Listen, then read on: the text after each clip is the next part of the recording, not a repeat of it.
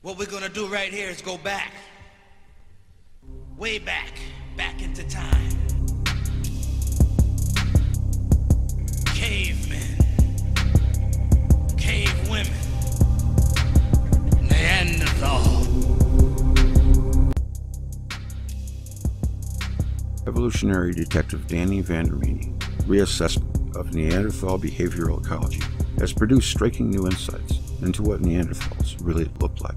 Anthropomorphism, our propensity to see Neanderthals much like ourselves, has blurred Western thinking on all Neanderthals. Anthropomorphism has been a ubiquitous feature of human culture since the Stone Age and has influenced the way scientists have interpreted the archaeological evidence. The problem with forensic reconstructions, Vendramini says, that factual reconstructions work extremely well for humans, but that's because we know the shape, texture, and thickness of our facial soft tissues. Forensic reconstructions are fine for humans, but when human features, textures, and dimensions are used to recreate Neanderthal faces, they're bound to be wrong. After all, you'd never use human facial dimensions and textures to recreate the faces of chimps, gorillas, or any other non-human primate.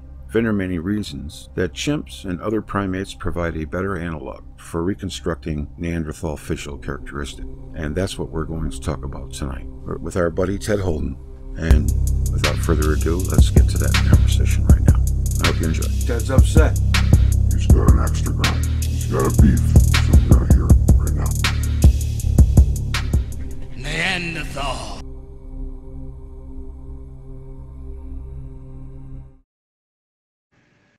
What do I want here? I want the this thing at, at first here, which says Neanderthal nature. It's like what I want to talk about is the question of hominids, particularly the Neanderthal. Okay. They actually are, right? Because there's so much garbage out there on YouTube and on other places on the internet. Okay? Yeah. And. The Neanderthal for the last 60 or 80 years has been presented as a kind of a poster child for kumbaya, you know, pseudo religion, you know, for Yeah. yuppies, right?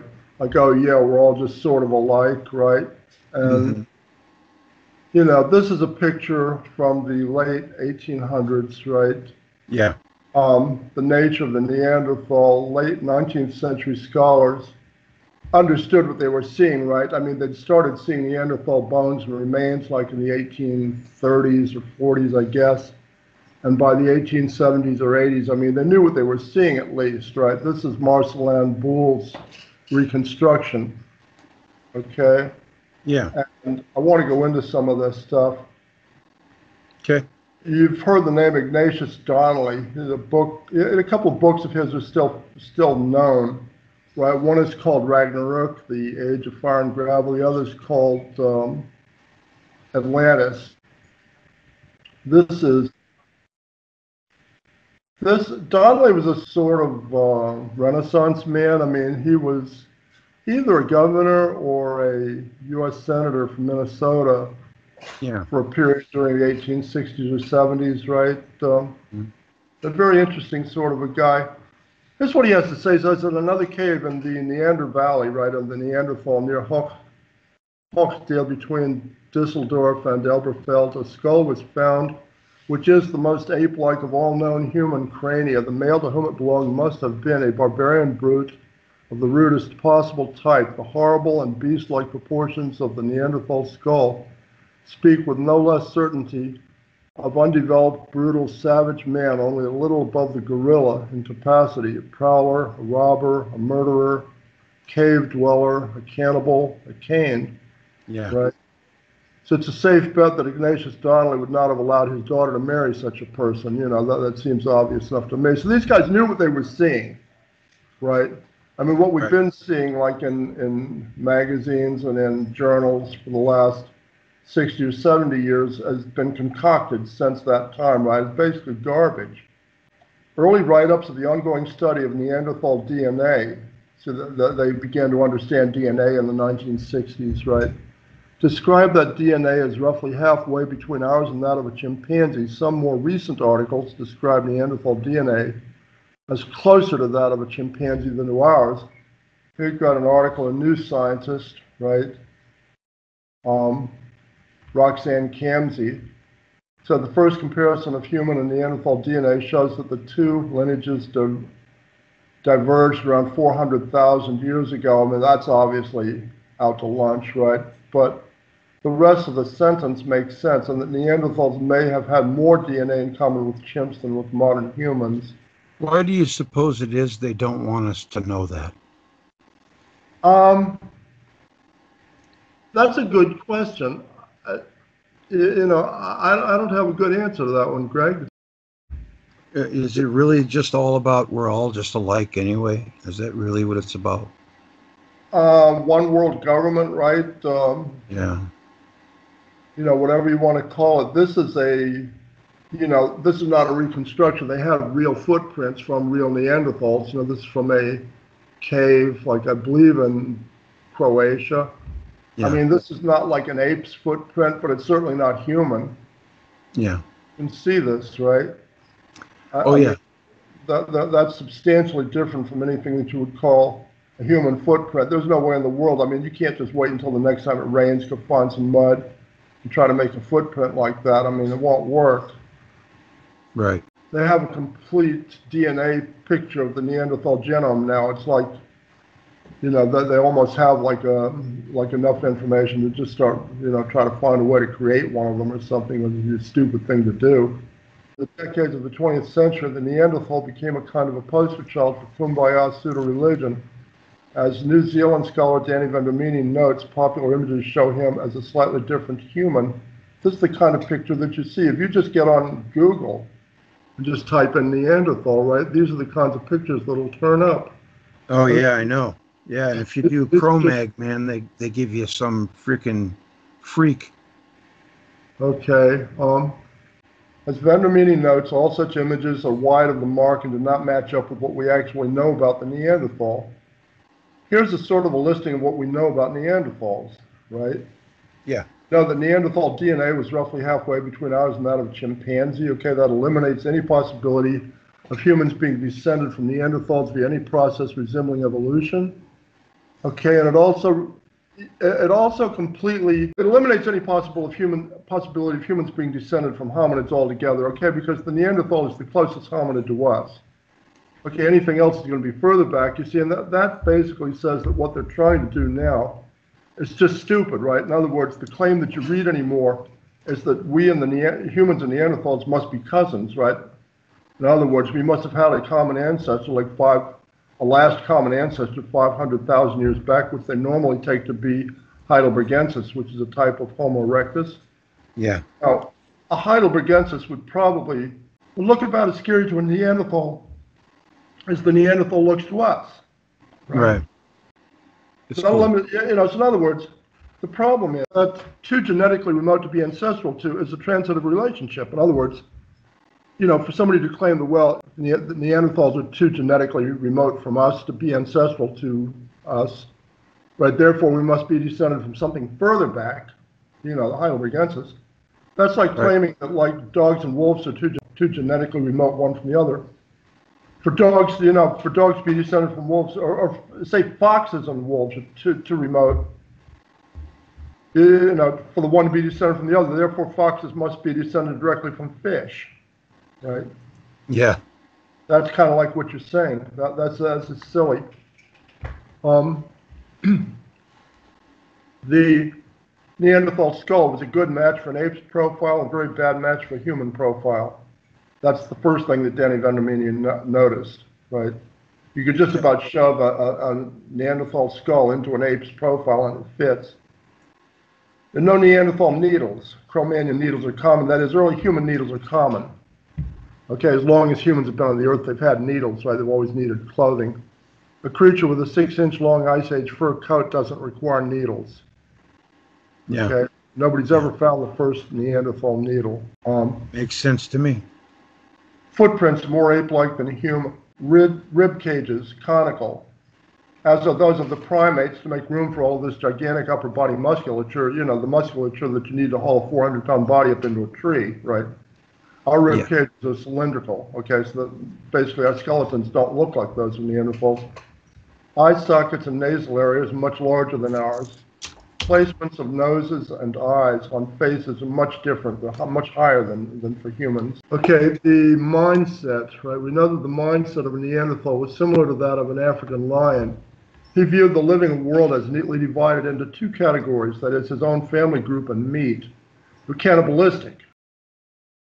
That you find Neanderthal families, you know, the remains of Neanderthal families, you know, clear butchering marks made by flint knives. Yeah. We know from uh, Rob Gargett's studies that if you put the skulls of a human, a Neanderthal, and a lion together, the two which have much of anything in common are the Neanderthal and the lion.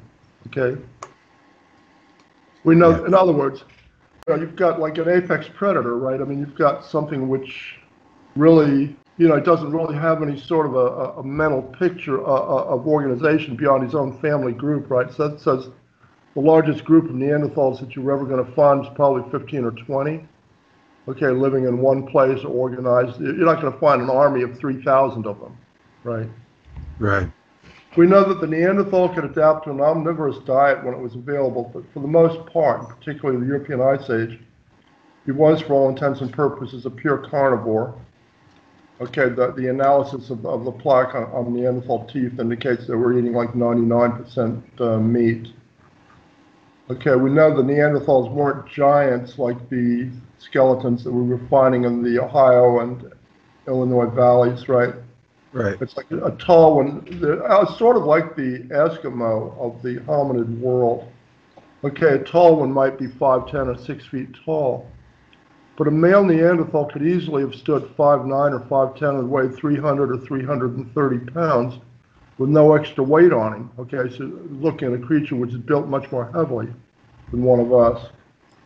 Okay, you have, you know, if all that sounds strange, you have to ask yourself, what you would expect a creature with DNA halfway between ours and that of a chimpanzee to look like.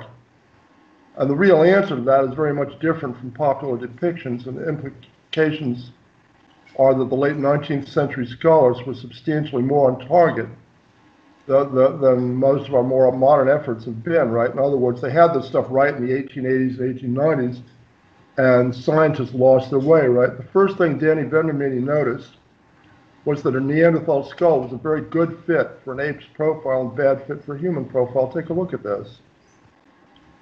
This is a Neanderthal skull and a chimpanzee. What do you think? Yeah. I mean, that works, doesn't it? It sure looks like it to me. Now, when you, um, Danny Vendramini here has the line of the Neanderthal's skull going forward, right? He's got the Neanderthal looking forward. And when you do that, then the Neanderthal has a snout like a dog or a cat, and they, you know, the yuppies don't like that.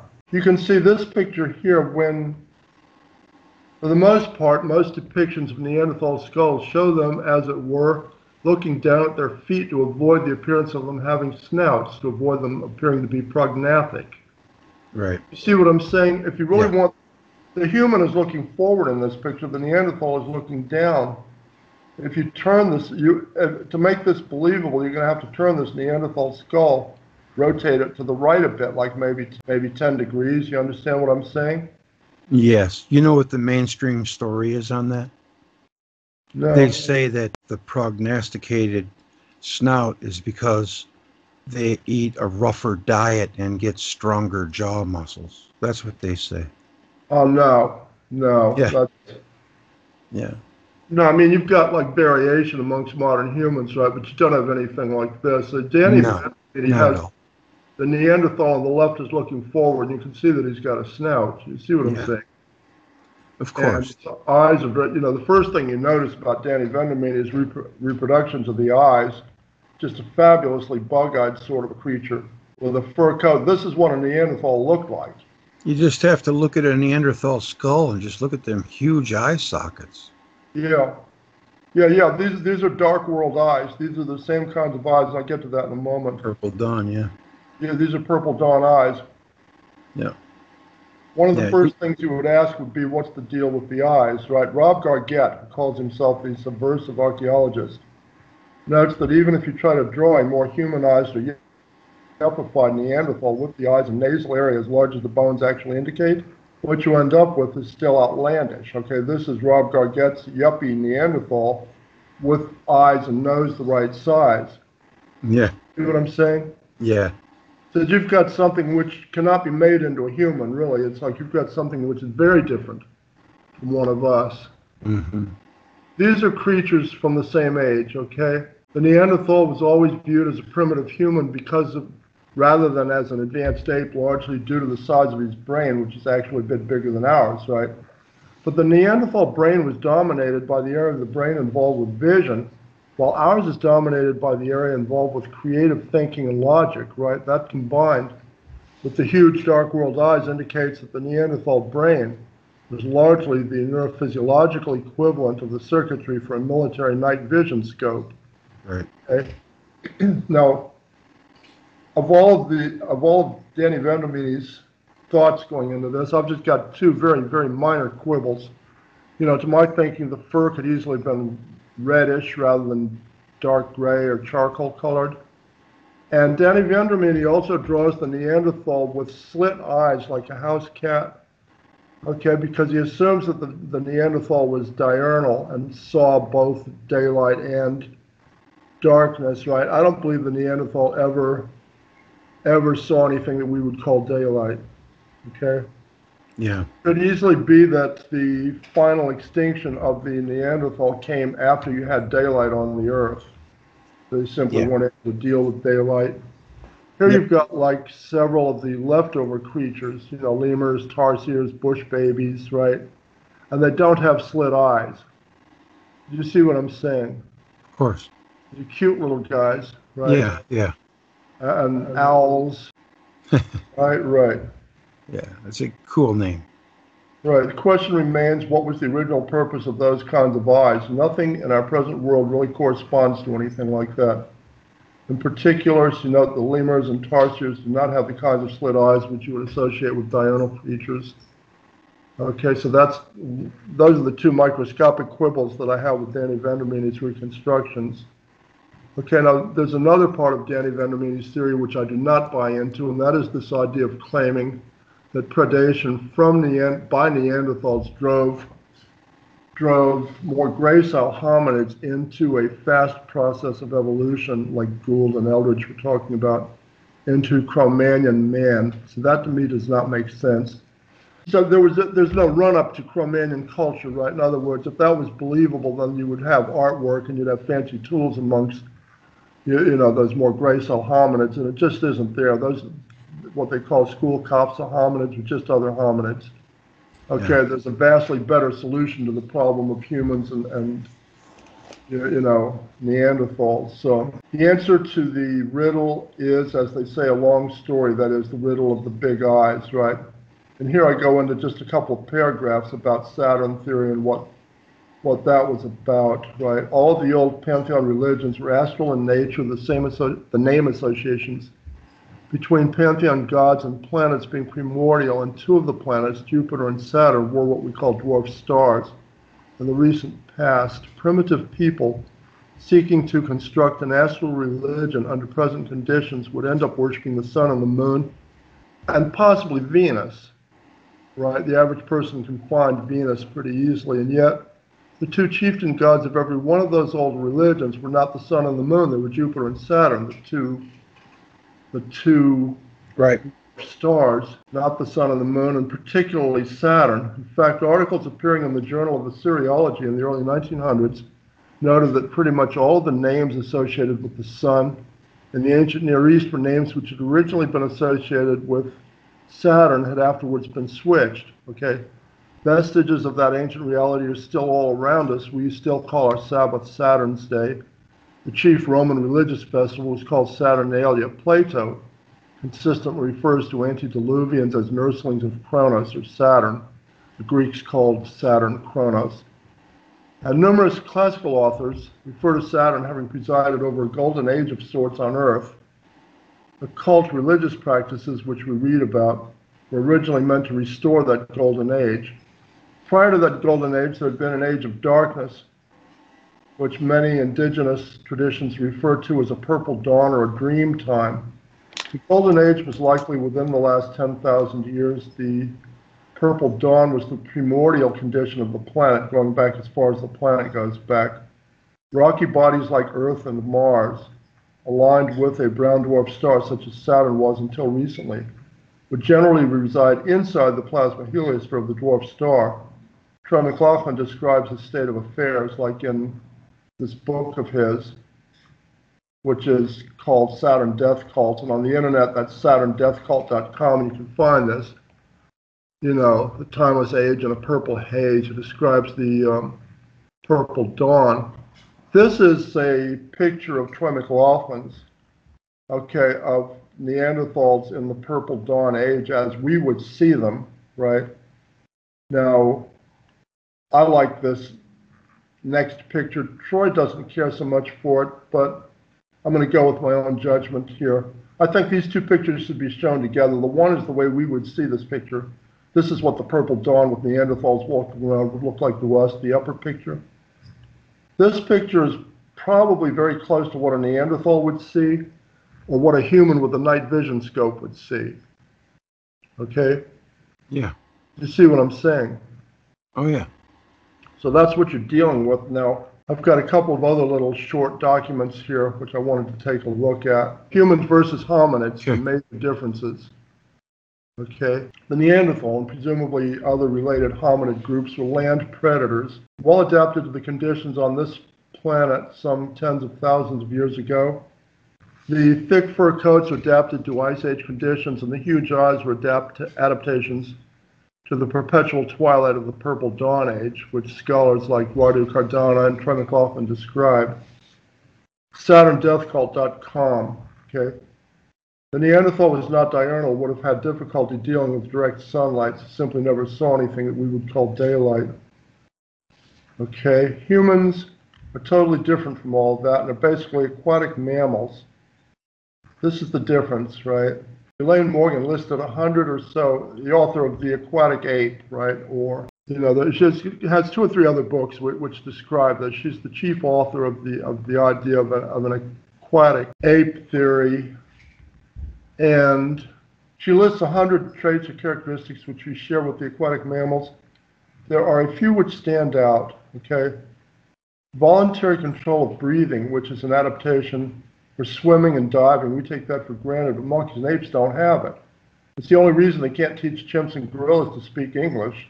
They can be taught to communicate using deaf signs perfectly well. Face to face sex, right? Marine mammals do that, land animals generally don't, and humans do that. Okay, shoulders adapted for swim strokes. And this is big, right? The motion to swim is the same motion as to throw something like a javelin or to use a atlatl. And this was a huge edge which humans had over the Neanderthal, believe it or not. Humans have that, primates and hominids never did. That's why the Neanderthals were limited to thrusting spears while the early humans had atlatls, and the atlatl was a fearful weapon. And javelins, okay? Yes. But Ranged weapon. especially the atlatl. Now, if you've ever seen a hard serve in tennis, somebody like, you know, Andy Roddick or Roscoe Tanner, you know, hits a hard serve, right? It's like most of the power is coming from his wrist, right? In other words, he's trading four inches of wrist motion for four feet of racket head motion. He's sending a tennis ball across the net at 140 miles an hour.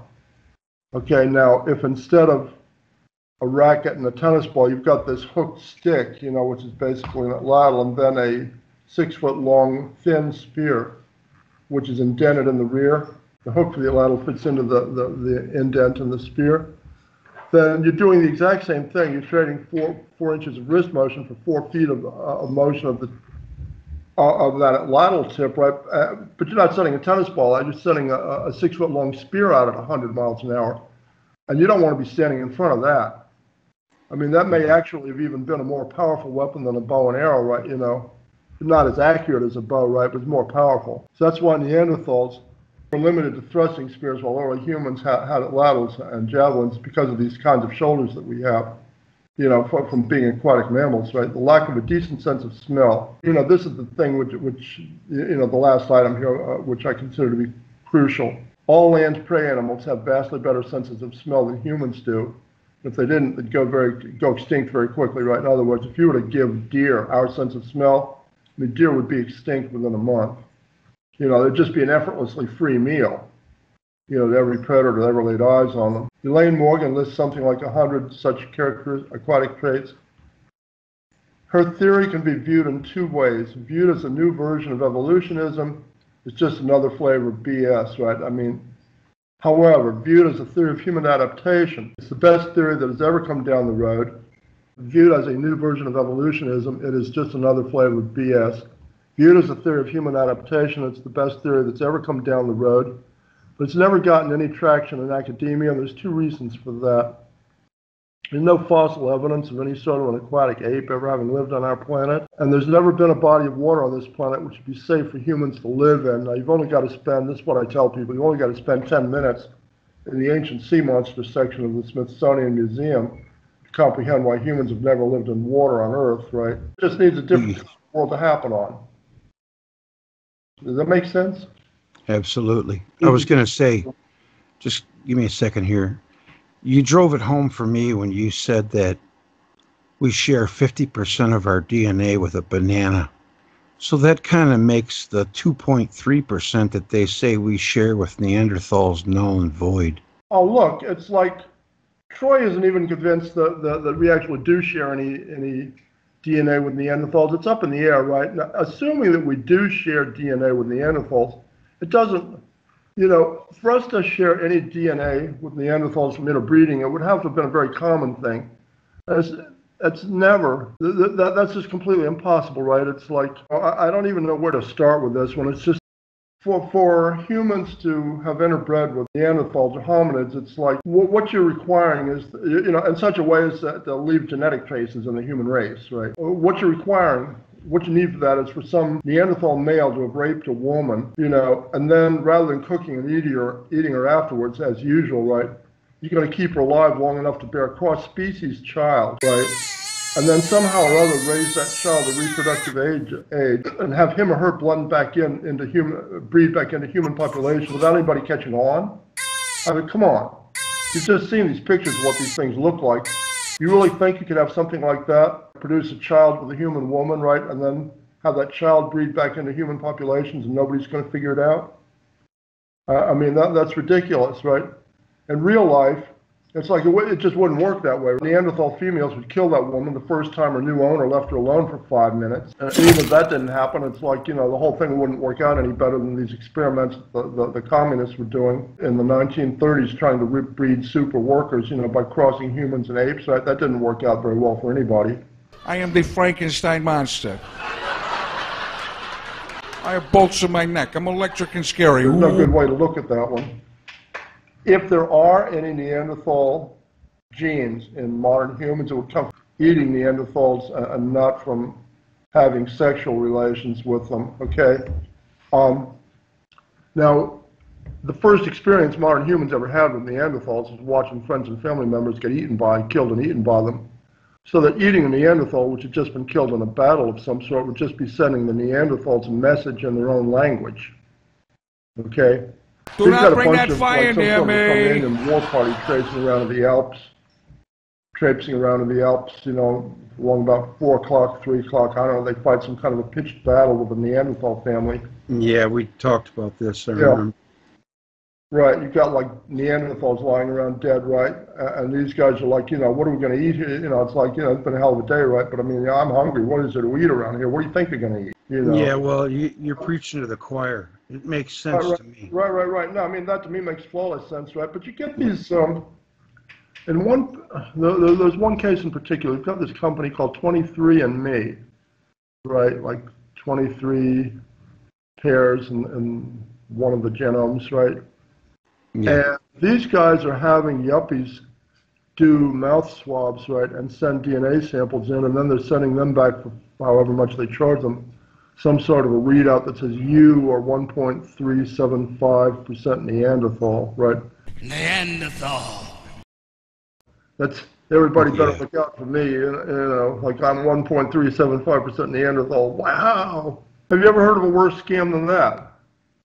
Yeah, no, not re- well, probably, but it's up there. I'd like to know how much Chromag I got in me. Um, well, that gets into another kind of a question. That question says that you basically, as near as Troy and I can tell, we could be missing something on this one, but it's like, you know, there appear to be two hu- two basic human groups on the planet. It's got nothing to do with race or color. It's either group group could produce any color or any feature that you'd ever see. Well, that makes sense because animals do the same thing.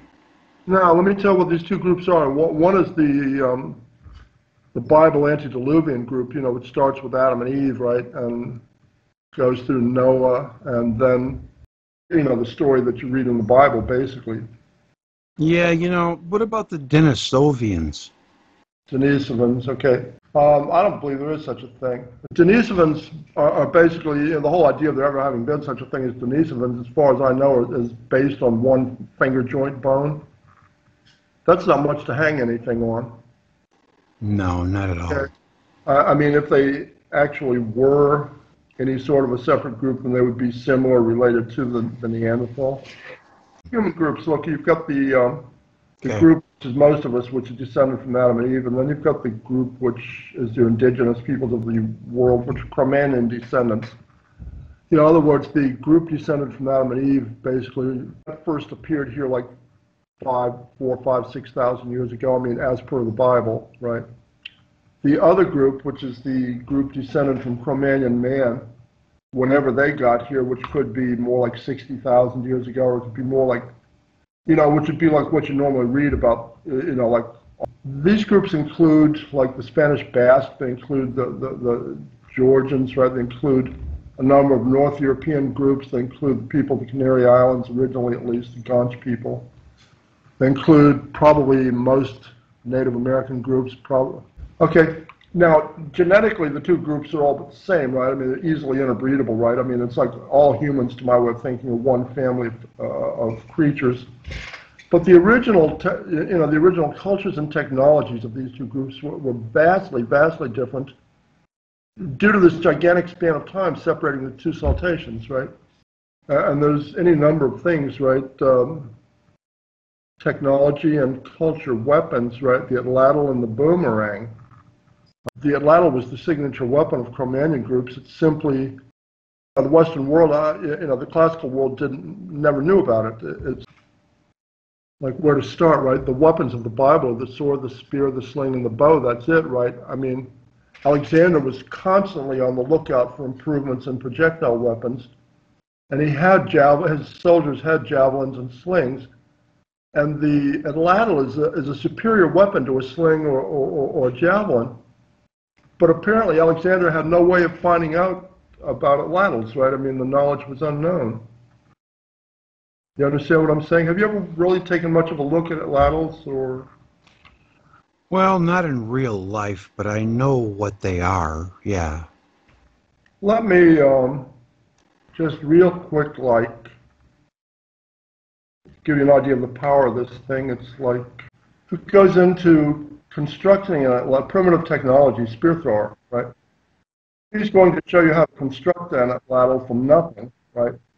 Just as soon as he's taking a forked stick, right? So he's going to have these little barbed hooks there at the end of the atlatl stick. Oh, okay. I just lost my little mouse pointer here. Better. Watch. Yeah. Go to where he's showing you how he uses the thing. Yeah, that looks pretty cool. You're going to get an idea of the power of this thing. He's not even exerting himself there. Watch this. He's going to set himself up a little target. That looks like 40 yards there. I mean, I wouldn't want to be standing in front of that.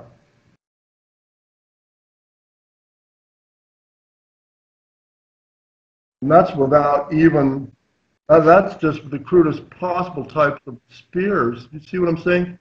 Now imagine, like you're in a Roman army or Alexander's army, and you've got wood lathes, right, arrow lathes, and you can make something like that that was decent, right? That was like you know, smooth uh, and straight. I mean, completely straight. It had a steel point on it instead of just a hardened wooden point. The idea of a stone age, right? It's like I don't think there was ever any kind of a stone age amongst the people of Genesis, right? Troy thinks that they may have been using stone tools just to avoid having metal in their hands, you know, with all this static electricity in the air.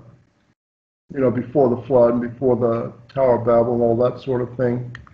These are some of Troy's um, Ganymede hypothesis uh, images. You know, like what, you know, the, the, this perfect human home world would have looked like. Remember I said that like a human home world, you know, this planet was an ideal home world for Neanderthals, right? I mean, the Neanderthal was very well adapted to this world the way it existed 50,000 years ago. Humans are not adapted to the way this world, you know, we're, we're not native to this planet. This is the world that we were native to. Okay, I mean, an idea, a human home world is going to have to be bright because of the, the tiny, relatively tiny human eyes. Okay, I mean, humans aren't going to thrive in this dark world that the Neanderthal lived in. It's going to have to be wet because of the aquatic adaptations. And it's going to have to be safe. I mean, there can't be any sharks. And humans don't swim as efficiently. You know, you know, I mean, there can't be any sea monsters in this original human home world. You understand what I'm saying? And it would help also if there was protection from cosmic radiation, which would be like this intrinsic magnetosphere, Ganymede. Ganymede is the only other body besides Earth in our system that has an intrinsic magnetosphere that, that would protect it from cosmic radiation. Basically, Earth replaced Ganymede. Um, as a human, as a primary human world in our system, yes. Yeah. Okay. Here you're seeing the sun and the dwarf star here, like floating bergs of pumice, right? That, that one, the, the, the most major key feature on Ganymede was pumice. Okay, you had coagulated bergs and, and floating masses of pumice, and then you also had anchored, isle, anchored islands of pumice in prehistoric times, right? You're you're seeing both Jupiter and the sun here again. You've got a seven-day transit. I mean, Ganymede goes around Jupiter once every seven days, I believe, and it's like parts of that seven-day period where, you know, it would be fairly, you know, it wouldn't be as bright. You- You'd have bright parts of it, right? It's like you would have like one part of it where you would be seeing intent, you know, both full light from the sun and the light from the dwarf star. Might look something like this. Yeah, that looks good, Ted. I've never seen those pictures before. These come from this new book of Troy's, okay, which is called the. That's outstanding. Yeah, I think that's pretty good. You know, but this is what you're looking at, right? It's like you're looking at a totally different kind of a world. It's like uh, John Cook claims. This is the guy that spelled his name J-N-O and pronounced it John, right? Claims that Jupiter would have been in just a, a bit closer to the sun than the Earth is now under those kinds Point, of conditions. seven AU. Yeah, 0.7 AU. Right. Okay, no, I figured figured you might like this. About Neanderthals that you could put out there. Like I said, there's a lot of there's a, big market for it. Oh, yeah. People just don't know where to go. Right? It's like I've I've got these two groups on Facebook now. One is called Ga- Ganymede Hypothesis. The other is called Neanderthal Realities. Right? And I believe that the I'm getting up around 250 members now for the the newer one. And I believe that's going to get bigger eventually, right? Because people end up doing these searches on Neanderthal all the time. And I just wanted there to be some chance for somebody to come up with real information, you know, just by getting on Facebook and typing Neanderthal in. And, you know, you've got four or five other Facebook groups, you know, which deal with Neanderthals, which are just spouting garbage.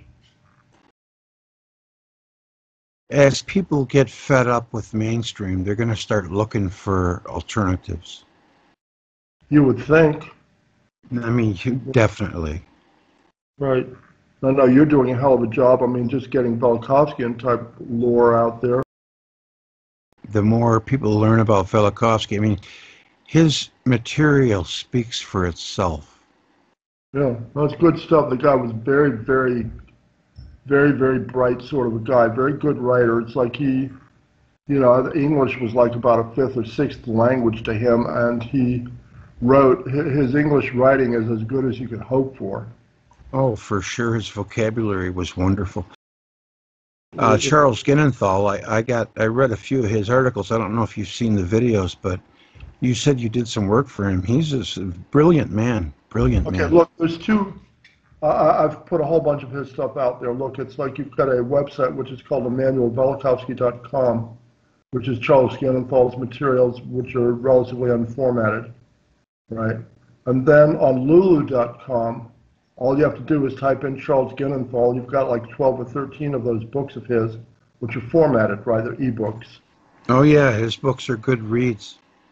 Okay, and in fact, being on Lulu, it's like you could you, you, you could get those from Amazon for Kindle just as easily, right? But it's like, you know, if you have a copy of um, of Calibre or something like that, then you can read, you know, just generic ebooks, right? And you know, he's got these th- this massive work which is called Pillars of the Past, right? Which is four volumes, right? Each one of these volumes is four, five, or six hundred pages. What are they about, Ted? Because I'm I'm intrigued by that. It's about like the chronology of ancient history. It's about you know what do we really know about like a Stone Age or like a Bronze Age or an Iron Age or anything like that, or what do we really know about you know the way some of these nations that you read about in the Bible or in other history, you know how how were they actually living? What were they up to? What were the real time frames? It's like you know that you've got like you know you, you've got like a couple of cases of, of things where the standard chronologies are just can't begin to be right right you've got the you know like the question of joseph uh, of the bible the coat of many colors and then this uh, grand vizier vizier i'm not even sure vizier okay you've, you've got like a Hi, Greg. i've got like a sort of a roommate sitting here that's Hello. long story Big but fan, dude. yeah greg you there Yeah, that's cool, man. Yeah, I'm keeping myself on mute so that uh, you don't pick up any room interference, and yeah plus I don't want any feedback from my mic. Yeah, it's it's good, Ted. by 1800 years, and the life stories are identical from the day they're born until the day they died, right? The life stories are just absolutely identical, right? One quick question about Pillars of the Past, because I'm thinking about getting one of them. Which one would be the best one to get? Oh, I would start with number one. I would, I would Okay. Start, at the beginning of anything, right? No, Imhotep, right? Imhotep uh, and Joseph. The funny thing is that Joseph is not any normal type of an Israelite name, right? It's like, where in the world does that come from? The only, you know, you've got Joseph of the coat of many colors, and then the next time in the Bible that you see the name Joseph is like, you know, Mary's husband, right? So, like, how does that work? What I believe to be the case is that, like, Hotep, you know, it doesn't Yeah. take much to get from Hotep to Joseph, right? Or, or That's Joseph, pretty right? good. Yeah. You see what I'm saying? Yeah, I was thinking Jupiter and Mary was Venus, but you might be right. Oh. Yeah. I believe that Adam and Eve are, are, were real people, that Noah was a real person, that, you know, and it's like you get these believe those are all just Saturn or the moon or Mars. or- Yeah, yeah. Well, at some point it has to be real people. Yeah, I mean, you know, the, too much is written about Adam and Eve, right? You've got a book called the Book of Adam and Eve, which was excluded from the Bible, right? Now it's like Genesis reads as if Adam and Eve were created here ex nihilo. The Book of Adam and Eve reads as if they were brought here. It reads almost more like a science fiction work of some sort. Um, What are your What is your take on the Book of Enoch? Uh, interesting. Now, The, a bigger question that I have. I don't know how much you can make out of out of the Book of Enoch. It's like you know you could try to interpret that all all kinds of different ways, right? But it's like you're still only talking about the last five or six thousand years, right? And this is the difference between Troy and I, Troy and myself, and the Thunderbolts group. So the Thunderbolts group is they're not really talking about anything which is outside of the last 10,000 years or thereabouts, right? Whereas what Troy and I are talking about is more like within the last 50 or 70,000 years. You understand what I'm saying, right? So Of course I do. Yes, I, and I I get that too. one of the biggest question marks, you know, what I would really, you know, one of the things I'd really like to have an answer to, which I don't, is this whole question of what you call a um, an antediluvian peace, right?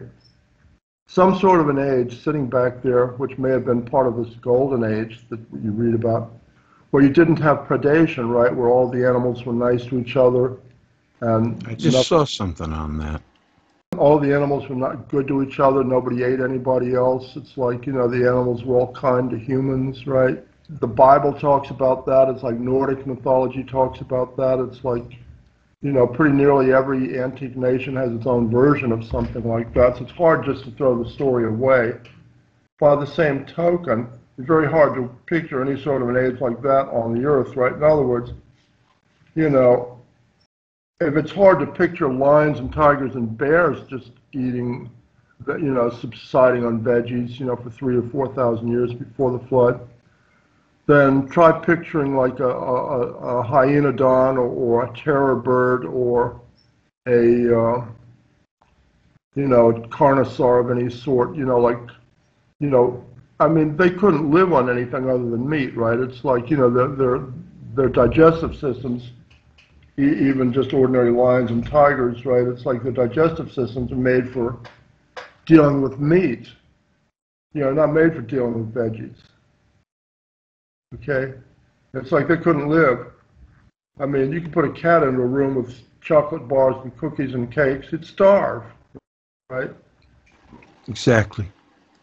Right. Humans, you know, are omnivorous, really, but it's like the original human diet almost had to have been some kind of a combination of, uh, of shellfish and fruit, right? And particularly since humans don't swim as efficiently as the other aquatic mammals. Humans to be spending 10 or 14 or 15 hours a day in water, you have to burn up a hell of a lot of energy, right? And the, the, the, the fuel for all that came from fruit, right? They just walk up onto these islands of pumice, right, and just pick fruit and eat it, right? And of course, the problems that humans have now is they've still got this taste for, for sweet things, but they're not getting all that exercise anymore, right? I mean, you know, we've got refined sugars and, you know, we've got like, you know, corn syrup and all this other, other stuff anymore. Since you get like people, I mean, like in this town where I live, it's got half the people walking around badly overweight. Yeah, obesity is definitely a problem in the U.S. That's for sure.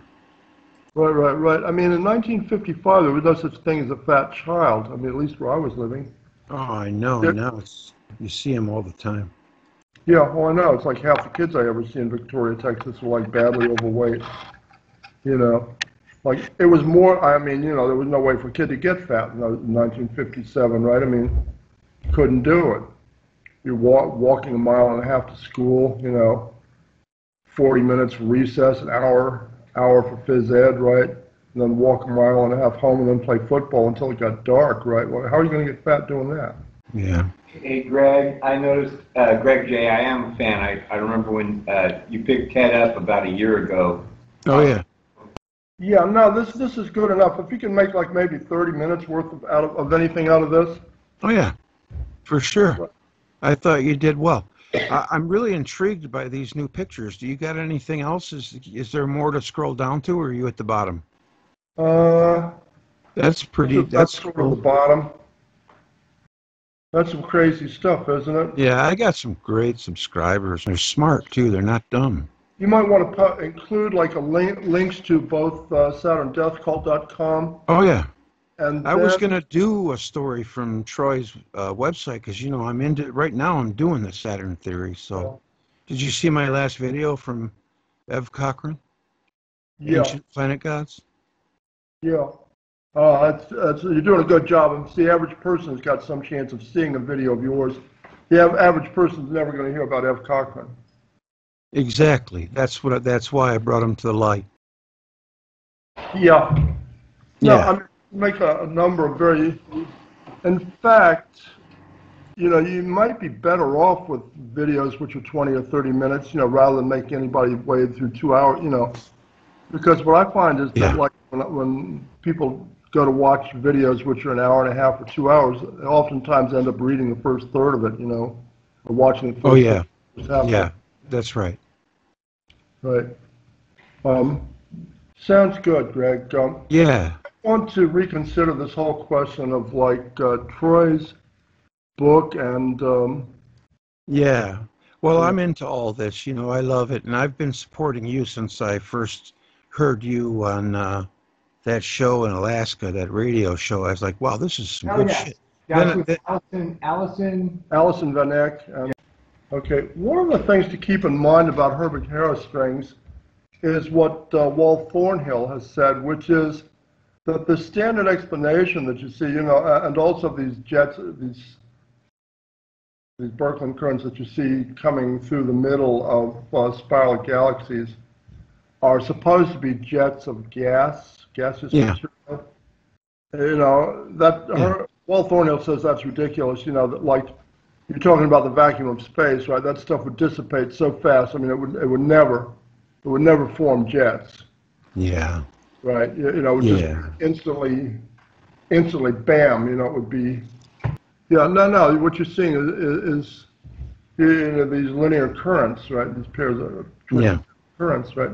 We've got a, um, we've got a, a Birkeland current that runs straight through the center of our own galaxy.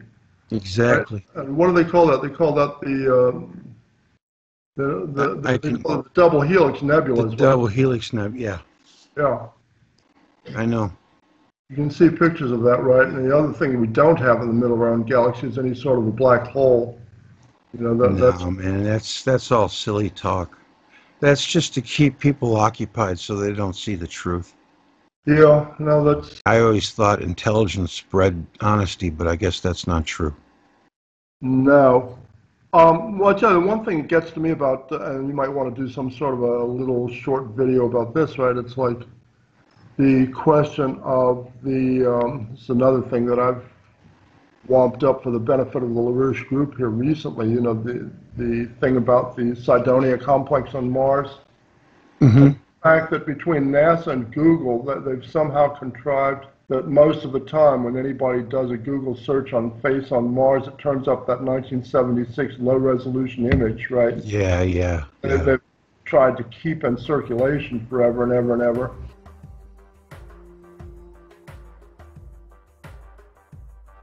Well, that'll end our conversation. I had turned the recorder off and we chatted a bit longer, which would have probably just bored you, and forgot to record the goodbye. But Ted said goodbye and we had a good time. This was kind of an impromptu last minute thing. I hope you enjoyed the talk. You know, one thing I noticed about us humans if we can ever somehow overcome our schizophrenia, we have to address our greatest problem, and that is blind submission to leaders that have no human compassion, good sense, or ability to think clearly. That's the reason why the world is in the shape it's in. And for some reason, the worst minds among us rise to the top and become these worshipped kings. We're just too willing to be followers. We don't have to agree all the time. We have our likes and our dislikes. I can honestly say, I don't think, to my knowledge, I've ever let information I thought I've known for so long that I had to protect it. And I see a major pushback from fundamental Christians and Muslims on the Book of Thomas. I mean, what they think they know has been drilled into them for so long, they get institutionalized. It's like prison. First you hate it, then you get used to it, then you depend on it because it doesn't promote church doctrine. I hope you enjoyed the chat, and the world needs to take another look at these Neanderthals. I happen to agree with Ted on that. We agree on a lot. Some things we don't agree on. It's like that with everybody. He's always interesting, though. The world isn't quite what we think it is. I mean, we only have this tiny amount of information. Last thing I want to do is have a closed mind or let church dogma steer the boat. For example, all these huge brain skulls in Central and South America. What's the story on them? Science doesn't even admit they exist. Are those the Nephilims? What about all the myths and legends about dwarves and elves and hobbits and so on? I mean, with the planet gods, we say yes. The ancients were telling us our history, so should we just dismiss that myth because it doesn't fit? I don't think so. We need to investigate it. For example, back in 1930, somewhere around there, prospectors in the Pedro Mountains of Wyoming found this guy, one and a half foot tall. They wanted to find out the X-rayed him, and of course he disappeared. Know, the Smithsonian is said to be dumping giant bones in the ocean, and on the New Earth Channel, that she has gone through these underground dwellings that were made for children. It looks like. Really? That doesn't make much sense. As far as Neanderthal being related to humans, I don't buy it. Science says Cro-Mags just showed up 37,000 years ago or thereabouts. And then there was the whole Piltdown Man issue, where basically mainstream science cheated for 40 years. So there's still no missing link to be found. I think they're doing their best to humanize Neanders so it can fit into their theory. Square peg in a round hole. Sounds familiar. Then there are these guys. You know, I mean, things are very chopped up. There is this whole thing with the Neanders and Cro-Mags, and we assume this was some place at the dawn of human existence on Earth. Even modern archaeology claims these Cro-Mags just appeared out of the blue. That much we think we know. And what about the giants? There was a whole period of time when they existed, when men were like grasshoppers at their feet. But he also has some very valid points. I am very open to seeing the evidence that Ted has uh, presented, and he builds himself a case. So I'll be paying attention to that for sure.